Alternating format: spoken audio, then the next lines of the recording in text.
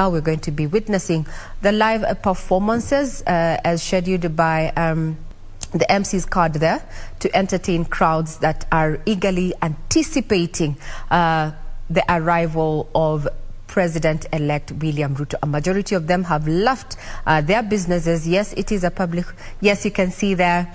Uh, we assume that that is a dad and the son in donned in uh, the party colors, UDA there, and a flag there to go coming to witness this moment in history there.